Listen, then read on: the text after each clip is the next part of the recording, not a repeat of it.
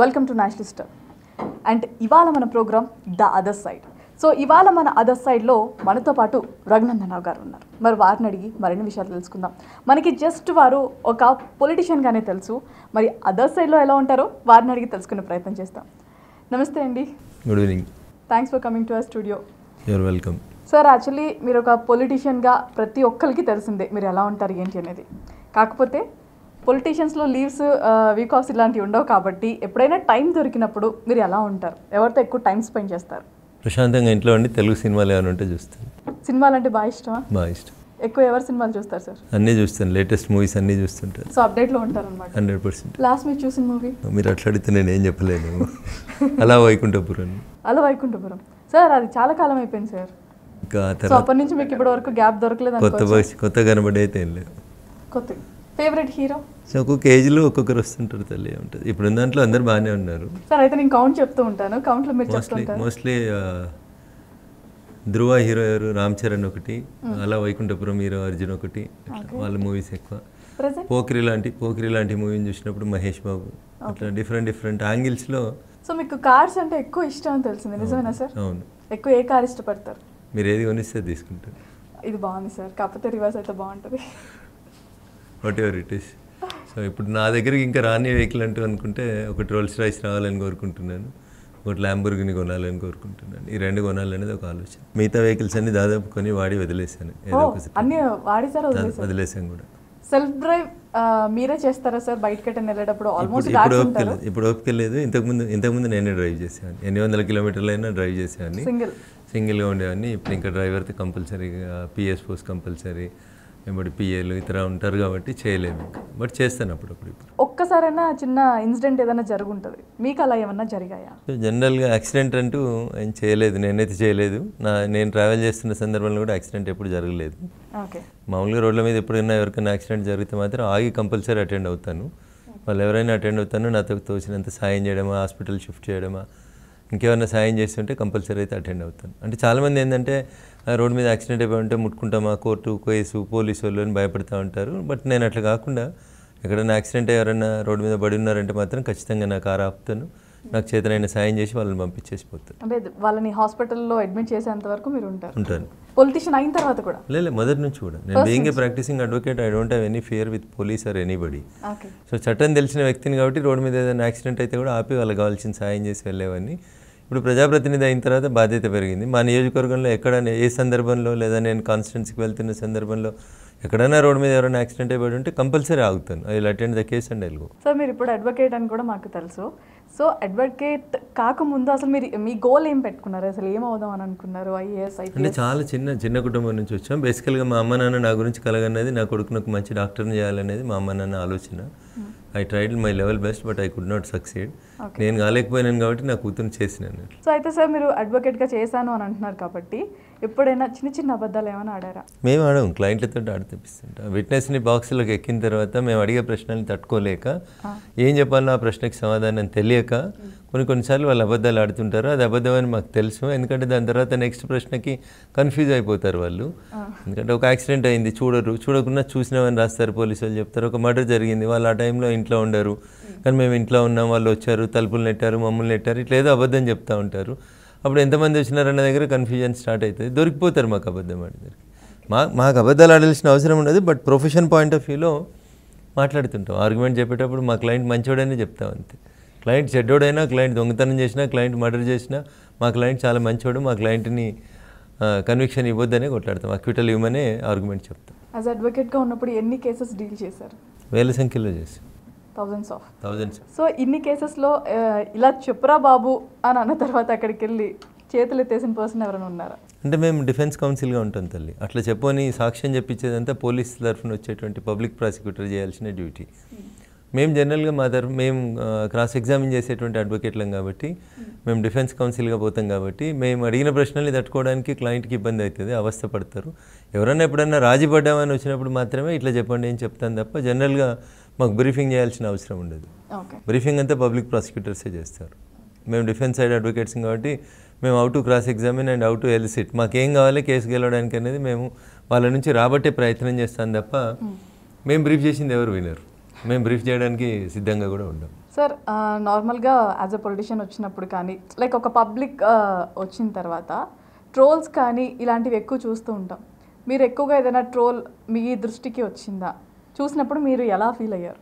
చాలామంది చేస్తూ ఉంటారు. నేను ఎందుకంటే మీడియాలో ఎక్కువ కనబడుతూ ఉంటాను ఎక్కువ మాట్లాడుతూ ఉంటాను చాలా మందిని విమర్శిస్తుంటాను కాబట్టి నన్ను విమర్శించే వాళ్ళు కూడా ఉంటారు కదా. At the same time I too also face the music నా వల్ల చాలామంది చాలా ఇబ్బందులు పడుతూ ఉంటారు. ప్రతి విషయాన్ని నేను వాళ్ళని అడుగుతూ ఉంటాను ప్రశ్నిస్తూ ఉంటాను కాబట్టి వాళ్ళు కూడా నన్ను ట్రై చేస్తూ ఉంటారు. ఎప్పుడైనా నా నోట్లోంచి పొరపాటున ఒక పదం దొరికినా నేను మాట్లాడిన దాంట్లో ఏదైనా తప్పు దొరికినా నన్ను ట్రోల్ చేసేటువంటి ప్రయత్నం చేస్తూ ఉంటారు. మొన్న ఈ మధ్యలో ఏదో నేను ప్రెస్ మీట్లో ఆదిలాబాద్ జిల్లాలో ఉండేటువంటి కడెం రిజర్వాయర్ గురించి మాట్లాడుతూ కడెం అనేటువంటి రిజర్వాయర్ ఆదిలాబాద్ జిల్లాకి వరప్రదాయిని అనబోయి వరద ప్రదాయిని అన్నాను నేను అది. So that was being trolled so నేను ఏమనుకోను నేను ఎందుకంటే అద్దం ముందు ఉంటే ఎట్లా చూసుకోవాల్సిందే. ముఖానికి ఎన్ని మచ్చలు ఉన్నాయి మనకి ఎన్ని ఇబ్బందులు ఉన్నాయనే చూసుకోవాల్సిందే. అద్దం లేకపోతే you don't find what are the mistakes that are with you కాబట్టి ట్రోల్ చేసినప్పుడు ఎస్ ఎక్కడ పొరపాటు జరిగింది మళ్ళీ ఒకసారి ఆ పొరపాటు జరగకుండా చూసుకోవడం ఎట్లా చూసుకుంటాను. నేను పెద్ద దాన్ని సీరియస్గా ఏం తీసుకోను నెగిటివ్ కూడా తీసుకోను. I treat it as true క్రిటిసిజాన్ని enjoy చేయాల్సిందే. తప్పు జరిగితే తప్పు జరిగిందని ఒప్పుకునే ఇది ఉండాలి. దిల్దార్ ఉండాలి కానీ నువ్వు మొహమాట పడు పిసుకొని పిసుకొని బతుకుడు ఇట్లా ఐ డోంట్ లైక్ ఉన్నది ఉన్నట్టు మాట్లాడతాను ముఖం మీదనే మాట్లాడతాను. నచ్చితే నచ్చుతుంది నచ్చకపోతే నచ్చలేదు. వాట్ ఈస్ దేర్ సో ఇట్లాంటి ట్రోల్స్ మీ ఇంట్లో వాళ్ళు చూసినప్పుడు ఏమండి ఇదిగోండి లేదంటే నానా ఇదిగో ఇలా ట్రోల్ అయింది అని చెప్పేసి మీ వాళ్ళు ఎవరైనా మీకు చెప్పిన ఏమన్నా సిచ్యువేషన్ రాజకీయాల్లో రాజకీయాల్లో తల్లి ట్రోల్ కాకుండా ఉండడం అనేది చాలా తక్కువ. మీ మీద వచ్చే ట్రోల్స్ మీ వాళ్ళు మీకు చెప్పినాయి సో అంత టైం నేను ఇవ్వను వాళ్ళకి. నేనే ముందు చెప్తాను. ఎందుకంటే వాళ్ళు బాధపెట్టాడు ఎందుకని అట్లాంటి ఏమైనా బాధాకరమైన సంఘటనలు ఉంటే నేనే ముందు చెప్తా ఉంటాను. ఇట్లా వస్తూ ఉంటుంది భవిష్యత్తులో. లేదా ఇలా వచ్చింది పొద్దుటి నుంచి మీరేం టెన్షన్ పడకండి అని చెప్పేస్తాను ముందే చెప్పేస్తాను. ముందే చెప్పేస్తాను. నేను కొంచెం సోషల్ మీడియాలో యాక్టివ్ ఉంటాను కాబట్టి ముందే చూసి చెప్పేస్తాను. దాని గురించి మీరేం టెన్షన్ పడద్దు. ఇలా ఇట్లా వస్తుంది ఈ టీవీలో ఇట్లా వస్తుంది ఆ పేపర్లో అట్లా వస్తుంది రేపు. దాని గురించి పెద్ద ఆలోచించకుండా. I take care of the మీరు వాళ్ళకి తెలిసిపోయింది తల్లి. వీడు ఇంతే ఇంకా. వీని మీ జీవితమే ఇంత అని వదిలేస్తారు అంతే. మీరు ఏమన్నా చేసుకోండి. అంతే. అంతే కదా? అంతే తల్లి. సో అయితే మీ ఇంట్లో మీ మిస్సెస్ ఎవరు లేనప్పుడు ఏమని పిలుస్తారు? అందరూ ఉన్నప్పుడు ఏమని పిలుస్తారు? ఎప్పుడైనా బావానే పిలుస్తుంది. నా మేనవారు వెళ్తాను. ఎప్పుడున్నా బావానే పిలుస్తుంది. లవ్ మ్యారేజ్ మీది.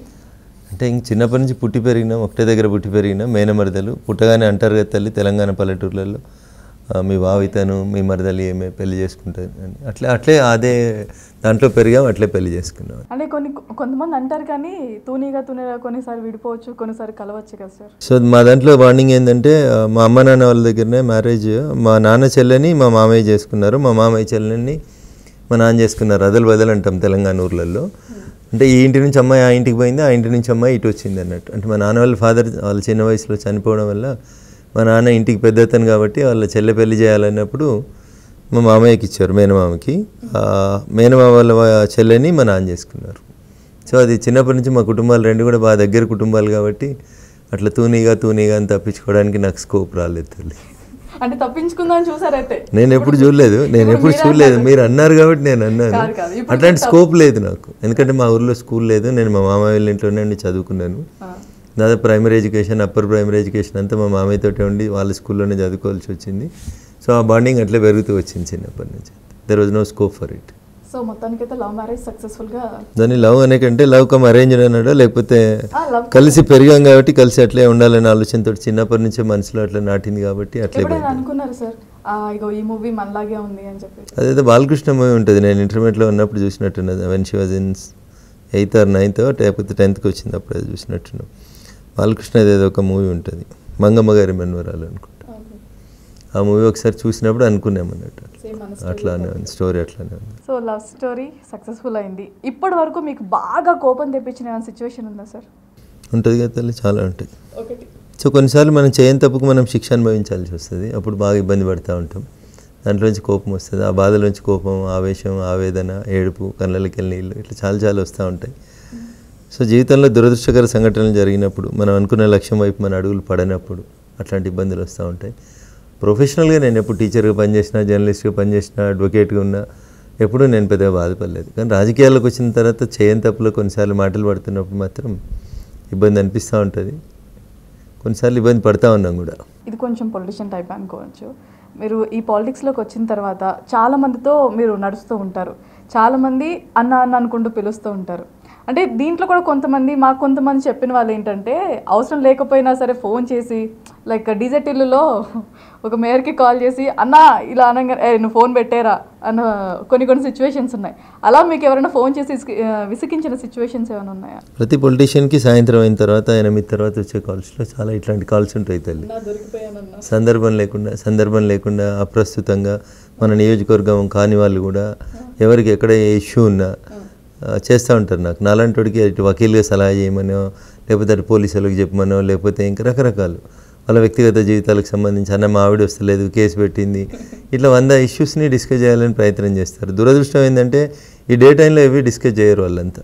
వాళ్ళ వాదంతా రాత్రి తొమ్మిది తర్వాతనే స్టార్ట్ అవుతుంది. ఇంకా పన్నెండింటి తర్వాత పన్నెండింటి దాకా భరించాల్సి ఉంటుంది మేము అట్లా. కొన్నిసార్లు విసుకుంటాం అట్లా అంటాం నియోజకవర్గం వల్ల అయితే మన బాధ్యత అది. మనల్ని గెలిపించినారు కాబట్టి కంపల్సరీ అటెండ్ కావాలి వాళ్ళ సమస్య తీర్చాల్సింది. When it comes from the other constituencies నిజామాబాద్కి వెళ్ళో అక్కడికి వెళ్ళో బోధన్కి వెళ్ళో బైన్సాకి వెళ్ళో ఖమ్మంకి వెళ్ళో చేయవారు అభినందన్ అంటే చేస్తాను అటెండ్ అవుతాను. బట్ కొన్ని కొన్నిసార్లు బాగా టైర్డ్ అయ్యి ఇంటికి వచ్చి పడుకున్న తర్వాత పన్నెండు గంటలకు ఫోన్ చేసి అన్న పోలీసు వాళ్ళు పట్టుకున్నారని లేకపోతే అన్న ఇది డ్రంక్ అండ్ డ్రైవ్లో దొరికినా అని ఆ రాత్రి లేపి ఇడిపించమని అన్నప్పుడు కొన్నిసార్లు ఇబ్బంది అనిపిస్తూ ఉంటుంది. But we are in public life కాబట్టి భరించాల్సింది. నా not gone through DJ Tillu cinema చూడలేదు నేను. బట్ మాకు ఆ సమస్యలు అయితే ఉంటాయి. అంటే అందులో మెయిన్గా ఉన్న పర్సన్ ఏంటంటే చీ ఫోన్ అంటారు. ఇక్కడేమో "ఆ, అన్న చెప్పాడు పదండి అని చెప్పేసి అందులో డైలాగ్ ఉంటుంది అనమాట దీంట్లో మేము మాకుండే వ్యక్తిగత జీవితంలో ఉండే ఇబ్బందులు ఏంటంటే వారి వారికి ఏదైనా సమస్య వస్తే ఆ సమస్యను మనం కంపల్సరీ వినాల్సిందే. అప్పుడు టైం ఎంత అయింది ఏంది? ఇప్పుడు మాట్లాడవచ్చా మాట్లాడరాదా? ఈ సమస్య ఫోన్లో డిస్కస్ చేయాలా చేయకూడదు? ఏముండదు పబ్లిక్కి వాళ్ళ కష్టం వచ్చింది చెప్పాలి. ఎవరికి చెప్తే న్యాయం జరుగుతుంది అనుకుంటాడు. ఆ నిమిషానికి ఫోన్ కొట్టేస్తాడు. కొందరు ఏం చేస్తారు? నలుగురు దోస్తులు కలిసి రాత్రిపూట దావత్ చేసుకుంటా ఉన్నప్పుడు చూడు మా ఎమ్మెల్యే సభ ఇప్పుడు నేను చేస్తే ఒక రింగ్కే ఫోన్ ఎత్తుతాడు. అని దోస్తుల ముంగట క్రెడిట్ కొట్టడానికి వాడు రాత్రి పన్నెండింటికి చేస్తాడు. నేను అనుకుంటాను సరే కార్యకర్త కదా చేస్తా ఉన్నాడు ఎత్తాలని ఎత్తుతూ ఉంటాం. అట్లా పనిచేసే వాళ్ళకి కష్టం ఉంటుంది. పని చేయని వాళ్ళు కొంతమంది ఉంటారు. ఎప్పుడు ఫోన్ ఎత్తారు. వాళ్ళ గురించి మనం ఆలోచించుకోవాల్సిన అవసరం లేదు అట్లా. నాలాంటి వాళ్ళకైతే కొంచెం ఫోన్ తాకిడి ఇబ్బంది పెడతా ఉంటుంది సార్ మీరు ఎక్కువ దేవుణ్ణి నమ్ముతారా? నమ్ముతాను. అంటే మీరు దీని నుంచి బయటపడాలి. దేవుణ్ణి కోరుకున్నాను. అమ్మయ్య జరిగిపోయింది అనుకున్న మూమెంట్ ఇది. నేను అట్లా ఆ రకంగా కష్టం వచ్చినప్పుడు గుడికి పోయి దండం పెట్టే బాపతి కాదు నేను. నేను నా ఫేట్ని నమ్ముకుంటాను నేను. శివుడు ఆజ్ఞ లేని చీమ కూడా గర్వదు అనేటువంటి ఆ నా నాలుగు అక్షరాలని ఖచ్చితంగా నమ్ముకుంటాను నేను. సో ఏదో ఒకటి జరుగుతుంది అని అనుకుంటే జరుగుతుంది అంతే. That you cannot change so రెండు వేల ఇరవై మూడు ఇరవై నాలుగు దాకా ఎమ్మెల్యేకి మనకు అవకాశం లేదు ఓడిపోయినామని బాధపడ్డాం రెండు వేల పద్దెనిమిదిలో. ఆ మధ్యలో అవకాశం వచ్చింది సడన్గా గెలిచాం ఎమ్మెల్యే అయ్యాం. So your fate is already return అని అందుకనే చెప్తా. నేను ఎవరైనా నమ్మి గురూజీల దగ్గరికి స్వామీజీల దగ్గరికి పోతే నీకు మంచి భవిష్యత్తు ఉంది ఈ సంవత్సరం బాగుంటుంది నీకు అని చెప్తే నేను అనుకునేవాడిని. సంవత్సరం మధ్యలో ఎట్లా వస్తాయి ఎలక్షన్స్ వీళ్ళేంది ఇట్లా చెప్తున్నారు? పోనేదో మనల్ని సంతృప్తి చేయడానికి చెప్తున్నారు అని అనుకునేవాళ్ళం. కొన్నిసార్లు కొంతమంది గురువులు చెప్పిన మాట నిజమైంది అట్లా. సో అట్లాంటి సందర్భాల్లో చూస్తాం. బట్ కష్టం వచ్చినప్పుడు పోయి ఏడిసి ఫలితం రావాలనుకుని కోరుకునే బదులు రోజు చేసే కార్యక్రమాలలో మనం ఎట్లున్నాం అనేది ఇంపార్టెంట్ అనేది నా ఉద్దేశం. మనం చేసే పని మనం కర్మఫలం కర్మఫలం అంతే. కర్మఫలం మీరు మంచి చేస్తే మీకు మంచి వస్తుంది. మీరు చెడు చేస్తే చెడు ఫేస్ చేయాల్సి వస్తుంది. మీరు ఎప్పుడైనా దొంగ సంతకాలు చేశారా? ఇట్ సిమ్స్ రిపోర్ట్ కార్డ్స్లో చిన్నప్పటి నుంచి లైక్ అలా. మా దగ్గరికి వచ్చే క్లయింట్స్ తోటి దొంగ సంతకాలు పెట్టించుకుంటా ఉంటాం వకాలతుల మీద దాని మీద. అంటే ఒక కేసులో పది మంది ముద్దాయిలు ఉంటారు. ఒకరోజు ఎనిమిది మందే వస్తారు. ఇంకో ఇద్దరు రారు. వాళ్ళ తరఫున పిటిషన్ వేయాల్సి ఉంటుంది కోర్టులో. వాళ్ళిద్దరు రాకపోతే ఎనిమిది మంది సఫర్ అయ్యేది ఉంటుంది అనుకోండి. అప్పుడు ఆ పెట్టండి బాబు వాడి సంతకం కూడా మీరే పెట్టండి అని చెప్పి పెట్టిస్తాం. కానీ మేము ఎప్పుడు పెట్టాల్సిన అవసరం రాలేదు పెట్టలేదు. చిన్నప్పటి నుంచి ఎప్పుడు రిపోర్ట్ కార్డులో పెట్టలేదు నేను బాగా చదువుకునేవాడిని చిన్నప్పటి నుంచి కాబట్టి అవసరం రాలేదు నాకు. నేను మెరిట్ స్టూడెంట్ కాబట్టి నాకు ఎప్పుడు ఇబ్బంది రాలేదు. అలాంటివన్నీ మాకే వస్తాయి. అట్లేం లేదు. లేదు. సార్ మీ ఫేవరెట్ అంటే ఖాళీ టైం దొరకడం చాలా కష్టము. ఒకవేళ దొరికితే ఏదైనా వెకేషన్కి వెళ్ళాలంటే ఏ ప్లేస్ చూస్ చేసుకుంటారు? సో అట్లా దాదాపు రాజకీయాల్లోకి వచ్చినాక చాలా తగ్గిపోయినాయి తల్లి. ఏదైనా ప్రశాంతంగా ఉండే ప్రాంతం లోన్లీగా ఉండేటువంటి ప్రాంతం పోవడానికి ఇష్టపడతాను. కొంచెం వెదర్ కూడా కూల్గా ఉంటే ఇంకొంచెం బాగుంటుందని అనుకుంటాం but we are not affordable I'm not affordable వేరే దేశాలకు పోయి జీతాన్ని ఎంజాయ్ చేసేంత ఇదిగలేదు మన దేశంలో అయితే ఒకసారి ఊటీ వెళ్ళాం ఒకసారి మనాలి వెళ్ళాం. Shimla is a dream pending ఉంది Kashmir is a dream still it is pending అట్లా వెళ్ళాల్సిన ప్ర- ప్రదేశాలు ఉన్నాయి. కానీ వెళ్ళడానికి అవకాశం తక్కువ ఉంది. వెళ్ళలేకపోయాం. సో ఎక్కడైనా ప్రశాంతంగా ఉండాలి అంతే. మళ్ళీ పోయి రణగొన ధ్వనులు జనగొన ధ్వనులు ఏం ఉండొద్దు అసలు. ప్రశాంతంగా ఉండాలంటే ప్రశాంతంగా ఉండాలని నేను కోరుకుంటాను. సార్ అంటే లైక్ కాలేజ్ డేస్లో కావచ్చు లైక్ లా చదివేటప్పుడు కానీ ఎప్పుడైనా ఎవరిని చూస్తే అబ్బా ఇలాంటి అమ్మాయి అని అనుకున్నారా? అందంగా ఉన్నప్పుడు అందంగా ఉంది అమ్మాయి అని అనుకుంటాను. దాంట్లో రాంగ్ ఏముందని నేను అనుకోను నేను. అంటే మీ చాలా చెడుగా మాట్లాడకుండా అమ్మాయి బాగుంది అంటే తప్పే ఉంటుంది అంటే అప్పట్లో మనం మాట్లాడుకుందాం అనుకున్నప్పుడు టెక్ చూపించిన వాళ్ళు. ఇప్పుడు మనం ఒక స్టేజ్కి వచ్చిన తర్వాత ఫోన్ చేసిన వాళ్ళు ఎవరైనా ఉన్నారా అవి పెద్దగా పట్టించుకోవాల్సినటువంటి ఇష్యూస్ కాదు భారతి. ఉంటారు ఉంటారు. జీవితంలో చాలా మంది ఉంటారు బట్ అవి పెద్ద పట్టించుకోవాల్సిన అంశాలు కావు. చిన్నపిల్లలం కాబట్టి అప్పుడు అనుకుంటాం ఈ అమ్మాయి బాగా ఇచ్చేస్తుంది మనం పలకరిస్తే పలుకుతలేదు చూడాలి దీని సంగతి చూడాలి ఇట్లా అనుకుంటాం. చాలామంది కాలేజ్ లైఫ్లో ఉన్నప్పుడు అట్లా అనుకుంటారు. బట్ కొంత మ్యాచ్యూరిటీ వచ్చిన తర్వాత సరే ఎవరైనా కష్టాల్లో ఉండి మన క్లాస్మేట్స్ కనబడ్డారు అనుకోండి అయ్యో ఏమైందిరా అని అడిగాడు. ఇంత ఇదైతే ఉంటుంది నాకు. బాధపడతాం కొంచెం. ఎవరైనా మంచి పరిస్థితిలో లేకపోతే ఎట్లైనా సాయం చేయాలని అనుకుంటాం. ఈ మధ్యలో మీరు చూస్తున్నారు కదా చిన్నప్పటి క్లాస్మేట్స్ అందరం మళ్ళీ కలవడాలు గెట్ టుగెదర్ స్పిరిట్ అందరం కలుసుకోవడాలు ఒకరి కష్టం ఒకరు షేర్ చేసుకోవడం కొంత బాధ్యతలు పెరిగిన తర్వాత బాధల్ని పంచుకునేటువంటి మనస్తత్వం అలవాటు పడింది. చిన్నప్పుడు అనుకునేవాళ్ళం వీళ్ళు బాగా స్టైల్ కొడుతున్నారు మన ముంగట వీళ్ళు ఇట్లున్నారు వాళ్ళు అట్లున్నారు వాళ్ళకి డబ్బు ఉందనే పొగరు వాడికి మోటార్ సైకిల్ సైకిల్ ఉంది కాబట్టి వాడికి అహంకారం మనకేం లేదు కాబట్టి ఇట్లా ఉన్నాం. ఇవన్నీ చిన్నప్పుడు ఆ ఏజ్లో ఉంటాయి తల్లి తప్పవు అవి. బట్ వీల్స్ అది పెద్ద పట్టించుకోలేదు మేము ఎప్పుడు. అంటే ఎవరైనా కొంటే చూపుతో అన్న అప్పుడు ఎవరిదన్నా పేరు గుర్తుకొస్తుందా సార్? అంటే మిసెస్ పేరు కాకుండా. అదే అంటే చూడడానికి ఈ అమ్మాయి ఇట్లా ఉంది భానుప్రియలా ఉంది అమ్మాయి సుహాసిని జుట్టులా ఉంది. అట్లాంటి భానుప్రియలు సుహాసినిలు ఇంటర్మీడియట్ నుంచి డిగ్రీ దాకా మాది కో ఎడ్యుకేషన్ కాలేజ్ తల్లి. సార్ ఆ భానుప్రియ పేరు ఏమైనా పేర్లు ఏం గుర్తుకు లేదు తల్లి. ఇప్పుడు నువ్వు నాకు లేని పంచాయతీ పెట్టకు. సార్ మీ ఫస్ట్ వాడిన సెల్ ఫోన్ ఏది? నోకియా నోకియా నెంబర్ చెప్తారా? ఇప్పటికీ అదే నెంబర్ వాడుతున్నారా? Mobile number same I have not changed mobile number but I changed mobiles అప్పుడు నోకియా వాడేవాడిని ఎక్కువగా. మధ్యలోకి వచ్చిన తర్వాత కొంచెం సేఫ్టీ అని ఫీచర్స్ ఉంటాయని సెక్యూరిటీ అనే ఉద్దేశంకి వచ్చిన తర్వాత ఐఫోన్కి షిఫ్ట్ అయ్యాం. అప్పటిదాకా నోకియానే వాడాను చాలా మంది ఆండ్రాయిడ్ నుంచి యాపిల్కి షిఫ్ట్ అవ్వాలని చాలా కొంచెం కష్టమే. నేను ఎప్పుడు ఆండ్రాయిడ్ వాడలేదు తల్లి. వాడలేదు. నోకియా నుంచి స్ట్రైట్గా ఐఫోన్కే వచ్చాను నేను. నోకియానే వాడేవాళ్ళం. ఇనిషియల్ డేస్లో అప్పుడు నోకియానే పెద్ద ఫోన్ అనిపించేది.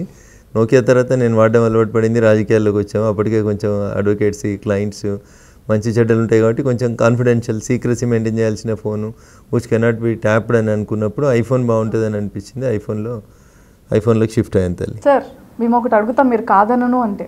తప్పకుండా. కెన్ ఐ ఆస్క్ నా పరిధిలో ఉండి నేను ఇవ్వగలిగింది అయితే చేస్తాను. సార్ మీరు మళ్ళీ రాజకీయంగా మాట్లాడుతున్నారు మా పరిధిని ఎవరికైనా మీరు ప్రాంక్ కాల్ చేయాలి. ఎవరికి చేస్తారు? వదిన్కి కాల్ చేస్తారా? డాటర్కి కాల్ చేస్తారా? ఎవరికైనా కాల్ చేసి నాకు ఈ సిచ్యువేషన్ వస్తుంది బీ అలర్ట్ అన్ అన్నట్టుగా ఒక కాల్ ఏదన్నా. భయపడతారు కదా. భయపడతారు కదా మళ్ళీ తర్వాత మేము చెప్పేస్తాం. Okay. Hello.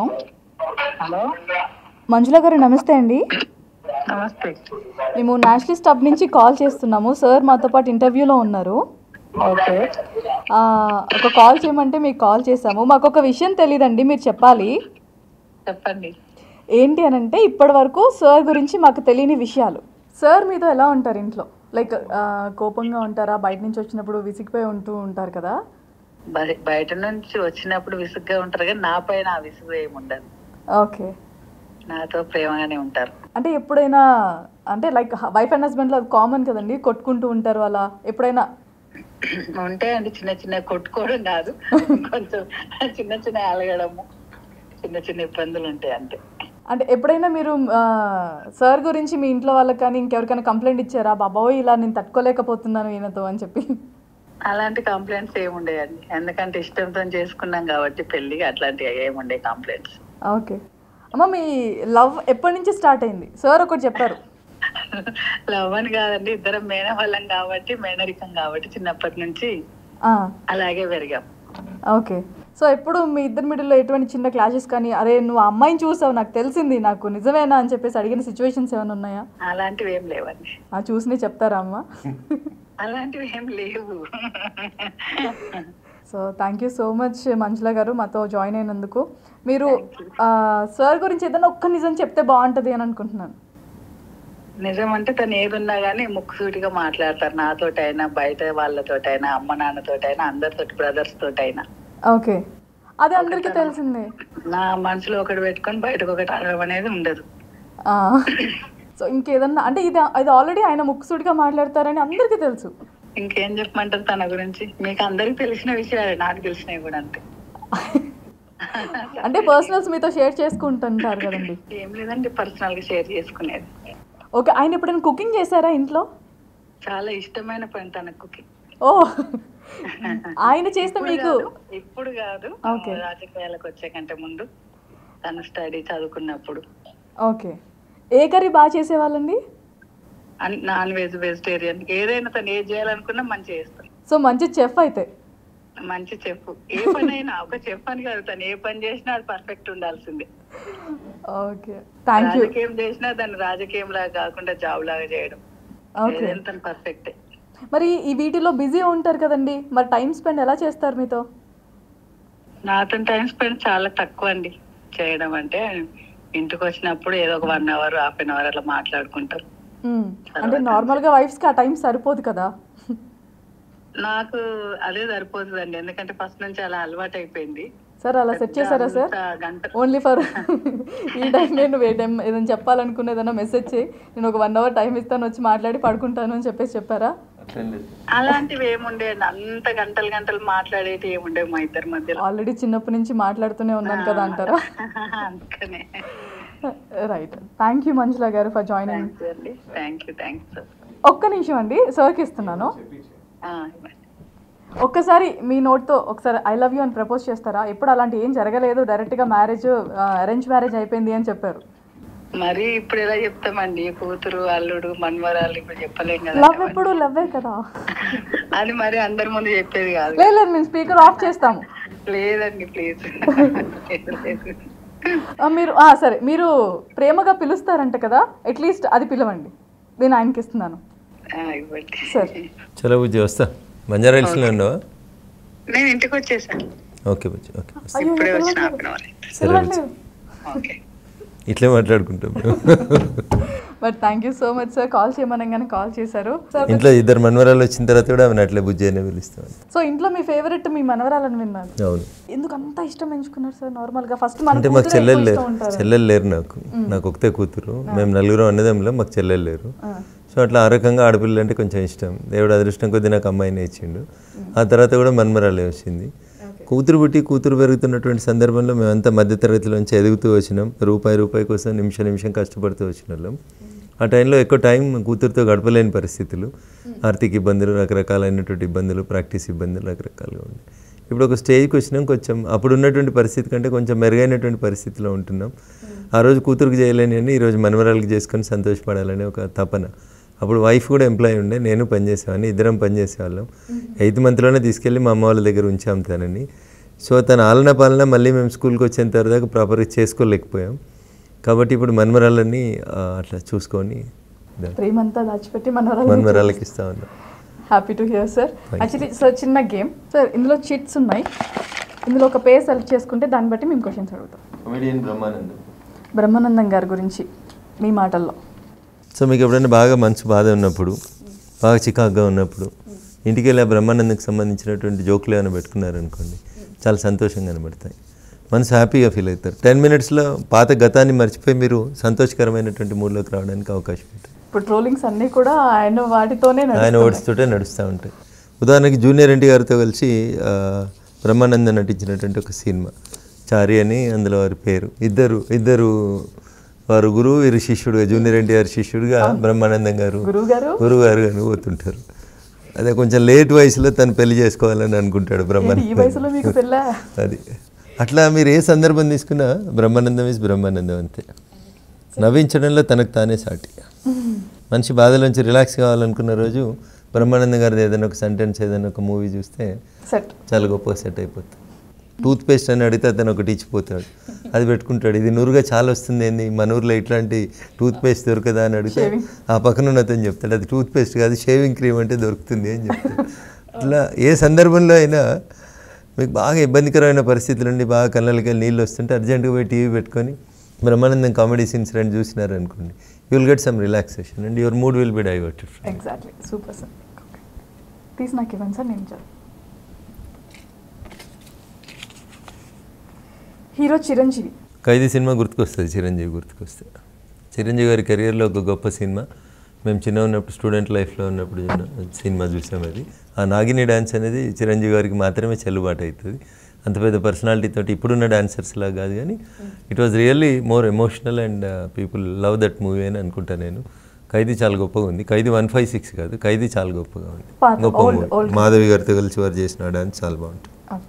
Nayanthara heroine Nayanthara good actress కానీ అనుకున్నంత పేరు అయితే రాలేదు తనకి. మిగతా హీరోయిన్స్తో పోటీ పోల్చి పోల్చి చూసినప్పుడు తనకి అంత గొప్పగా రెమ్యునరేషన్ కానీ గొప్పగా పేరు కానీ వచ్చినట్టు నేను భావించట్లేదు.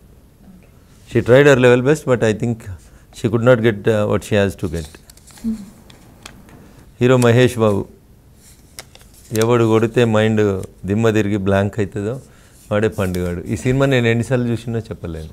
నిజంగా నాకు చాలా ఇష్టమైనటువంటి మూవీ. చాలాసార్లు చూశాను. నా జీవితంలో నేను ఎక్కువ కొన్ని వందల ఒక వంద సార్ల కన్నా దగ్గరికి వచ్చి ఉంటుంది ఈ సినిమా. టీవీలో ఎప్పుడు ఈ సినిమా వస్తుంటే ఆడ కూర్చుంటాను ఎవరైనా వచ్చి డిస్టర్బ్ చేస్తే అబ్బా ఎందుకు వచ్చిండ్రా వీడియో అనుకుంటాను. అంత ఇంట్రెస్టింగ్గా చూస్తా మూవీ నేను. మామూలుగా ఎన్నిసార్లు చూసుంటారు సార్? వచ్చింటుంది సెంచరీ దగ్గరికి వచ్చి ఓ! అన్నిసార్లు చూసి ఎప్పుడు పోకిరి వస్తుందంటే అట్లా ఆగిపోతుంది ఓకే. అంత అంత ఇష్టమైనటువంటి మూవీ ఓకే. సో మిగతా వాళ్ళగా పెద్ద బాడీ బిల్డింగ్ మెయింటెనెన్స్ అది లేకుండా మహేష్ బాబు గారు ఆ పోలీస్ పాత్రలో ఐ వాజ్ మోర్ కంఫర్టబుల్ అన్నట్టు. వాళ్ళ నాన్నని చంపేసినప్పుడు వచ్చిన సీన్ కానీ ఇతరత్ర ఇన్సిడెంట్స్లో కానీ చాలా బాగా యాక్ట్ చేశారు మహేష్ బాబు గారు పోఖ్రీలో మహేష్ బాబు అంటే నా దృష్టిలో పోఖ్రీ సినిమానే గుర్తొస్తుంది. అలీ గారు పొరపాటున కూడా రాజకీయాల్లోకి రాకండి అలీ గారు రావాలని ఆలోచన ఉంది. మేమే చాలా కష్టపడుతున్నాం రాజకీయాలకు వచ్చి మీరు రాజకీయాలకు వచ్చి ఇబ్బంది పడొద్దు. మీరు సినిమాలో నాకు బాగా నచ్చిన సినిమా యమలీలన యమగోలన ఒక సినిమా ఉంటుంది. తల్లి కోసం మీరు పడేటువంటి దాంట్లో ఈ ట్రైడ్ ఈజ్ లెవెల్ బెస్ట్ అంతకంటే మంచి సినిమా వారు చేయగలుగుతారని ఇంకా నేను అనుకోను. దాంట్లో బాగా చేశారు Ali garu. He has really done good my sincere advice to Ali garu is not to come into politics which does not sounds good for you Anushka Shetty Anushka బాగా నటించినటువంటి సినిమా ప్రభాస్తో కలిసి నటించినటువంటి మూవీ బాహుబలి బాహుబలిలో ఆమె చాలా బాగా నటించింది. దేవసేనగా బాగా నటించింది. బిఫోర్ మ్యారేజ్ కానీ after she was taken into custody కానీ అనుష్క ఆ పాత్రకు నూటికి నూరు శాతం న్యాయం చేసింది. చాలా మంచి అమ్మాయి. మన పక్క రాష్ట్రం బెంగళూరుకు సంబంధించినటువంటి అమ్మాయి. బాగా నటిస్తుంది. అన్నిటికీ యాక్ట్ అవుతుంది. లైక్ అటువంటి క్యారెక్టర్స్. తొందరగా తొందరగా అడ్జస్ట్ అవుతుంది. ఏ రకమైన క్యారెక్టర్కైనా తొందరగా అడ్జస్ట్ అయ్యేటువంటి క్యారెక్టర్. హీరో ఎన్టీఆర్. ఎన్టీఆర్ గారు రాజకీయాల్లోకి రావాలనేది నా కోరిక. నా కోరిక వారు వింటారో వినారో నాకు తెలియదు. బట్ వారి తాతగారి పోలికలు కలిగి ఉన్నటువంటి గొప్ప నటుడు. వారి తాతగారు ఎట్లయితే రాజకీయాల్లో రాణించి రాష్ట్ర రాజకీయాల్లో ఒకటి తనకంటూ ఒక ప్రత్యేకమైన ముద్ర వేసిండ్రో అట్లే జూనియర్ ఎన్టీఆర్ గారు కూడా కొత్త తరం రాజకీయాలకి వస్తే బాగుంటుంది అనేది నా ఆకాంక్ష. I don't know whether you will come into politics or not but but is a good actor రకరకాల పాత్రల్లో గొప్పగా నటించినారు. సో భవిష్యత్తులో రాజకీయాలకు రావాలని మనస్ఫూర్తి కోరుకుంటాను జూనియర్ ఎన్టీఆర్ గారు. పవన్ కళ్యాణ్ పైసలు దండు చేసుకుంటున్నారు టైం దండుగ చేసుకుంటున్నారు. వారికి ఉన్నటువంటి ఫ్యాన్ ఫాలోయింగ్ అంతా నష్టపోస్తున్నారు నష్టపరుస్తున్నారు. మంచిగా రాజకీయాలకి రాకుంటే ప్రశాంతంగా సినిమాల్లో నటించుంటే వారి సినిమాలు అట్లా కలకాలం అట్లా బాగా పోయేటి నేను ఎక్కువసార్లు చూసి ఇష్టపడిన సినిమాలో ఇంకో సినిమా అత్తారింటికి దారేది. చాలా బాగా నటించారు పవన్ కళ్యాణ్ గారు అందులో. అందులో కూడా బ్రహ్మానందం గారు అందులో బ్రహ్మానందం గారు చాలా. బాగా బ్రహ్మ- బ్రహ్మానందం గారు అసలు ఎందులో అయినా. బ్రహ్మానందం లేకుండా సినిమా ఉండడం అనేది దాదాపు తక్కువ అయిపోయింది.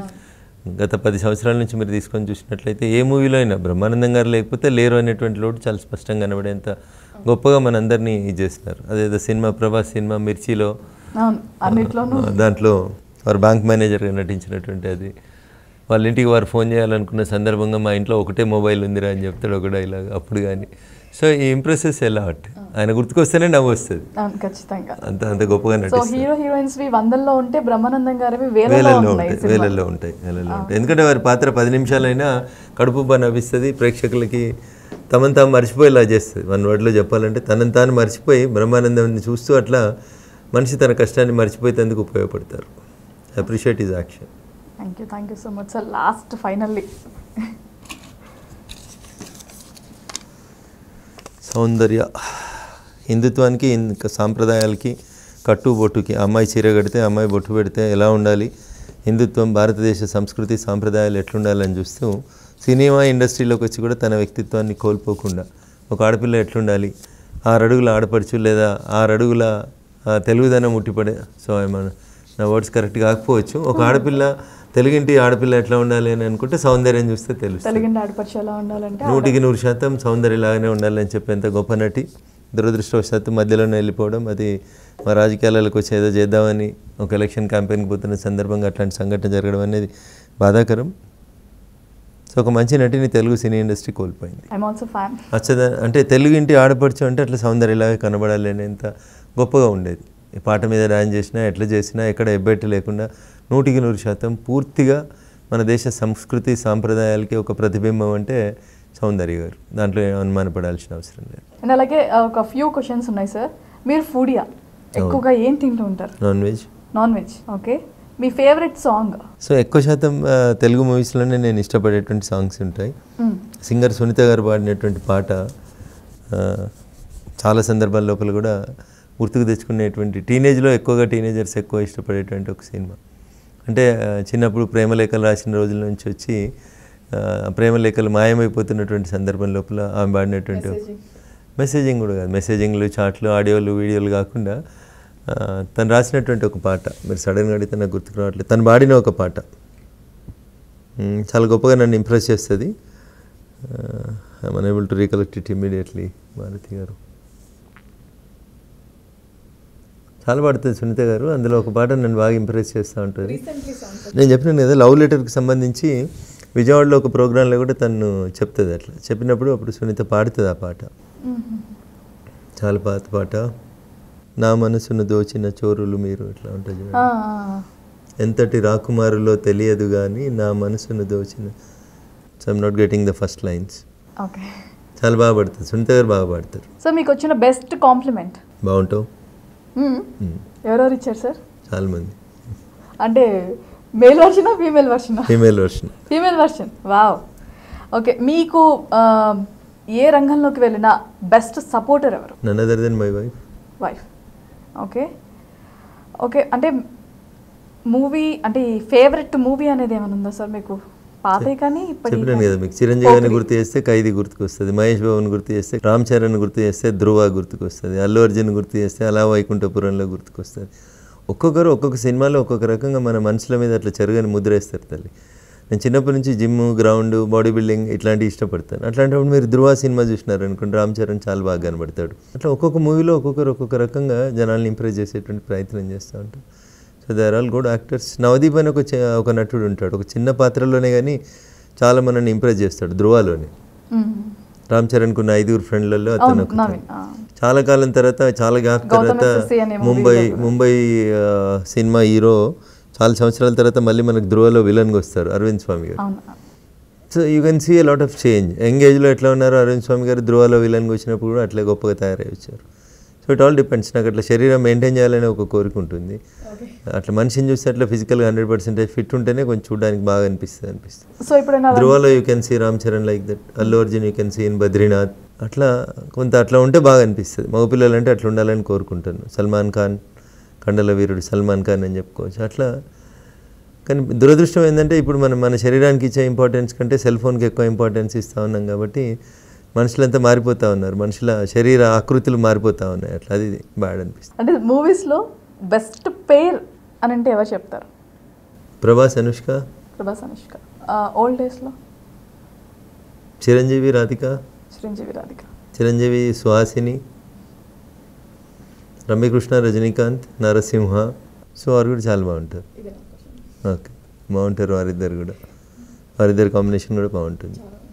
సో సార్ ప్రతి ఒక్కరికి ఒక్కొక్కటి బాగా ఇష్టం ఉంటుంది. అంటే లైక్ మీకు కార్స్ ఇంకేం ఇష్టం? లైక్ వాచెస్ కానీ jewellery whatever body building ఇష్టం బాడీ బిల్డింగ్ ఇష్టం. సో మరి అట్లా అనుకున్నప్పుడు ఎప్పుడైనా అరే నేను వీళ్ళలాగా అవ్వాలి అని చెప్పి ఎప్పుడైనా డైట్ స్టార్ట్ చేసి "ఆ, మన టైం కుదరట్లేదులే అని వదిలేసిన సో సిచ్యువేషన్ అట్లా నేను బాడీ బిల్డర్ లాగా ఎక్స్పోజ్ కావాలని ఎప్పుడు కోరుకోలేదు but I conducted all India body building championship tournament conduct చేశాను నేను గచ్చిబౌలిలో మీరు నమ్మరు అసలు వాళ్ళు ఒక్కొక్కరు తినే తిండి చూస్తే మనకు భయం వేస్తుంది. అంతంత చికెన్ తినేవారు నేను ఆలుగడ్డలు తినేవారు. మిస్టర్ ఇండియా కాంపిటీషన్స్ కండక్ట్ చేశాను నేను గచ్చిబౌలి స్టేడియంలో. సో అప్పుడు చూసేవాడిని. నాకు ఇంట్రెస్ట్ చిన్నప్పటి నుంచి కూడా నేను బాడీ ఎక్సర్సైజ్ చేయాలని కొంచెం పుష్టిగా ఉండాలని కోరుకునేవాడిని. అందుకనే మీకు ధృవాలో ఎందుకు నచ్చుతాడంటే అందుకనే నచ్చుతాడు రామ్ చరణ్ అక్కడ బాడీ బాగా మెయింటైన్ చేస్తాడు ఎక్సర్సైజ్ చేస్తాడు కాబట్టి నచ్చుతూ ఉంటాడు అట్లా. అంటే మనిషిని చూడగానే బాగున్నాడు అనే ఒక అపియరెన్స్ ఉండాలని కోరుకుంటాను నేను. షేప్లెస్గా హోప్లెస్గా ఉండకూడదు మనుషులు. కొంచెం చూస్తే ఇంప్రెసివ్గా ఉండాలనేది నా ఇంట్రెస్ట్ బెస్ట్ లీడర్ అంటే ఎవరు చెప్తారు? ఇప్పుడున్నటువంటి దేశ రాజకీయాల్లో ప్రపంచ రాజకీయాల్లో మన దేశంలో బాగా ప్రజల్ని ఇన్ఫ్లుయెన్స్ చేయగలిగినటువంటి వ్యక్తి నరేంద్ర మోడీ గారు.